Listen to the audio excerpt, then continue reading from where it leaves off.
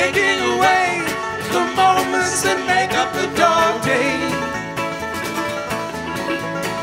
Fritter and waste the hours in an offhand way. Kicking around on a piece of ground in your hometown. Waiting for someone or something to show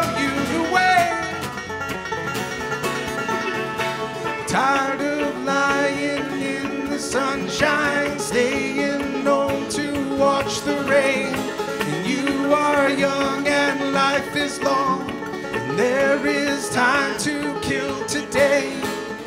And then one day you find ten years have got behind you. No one told you when to run.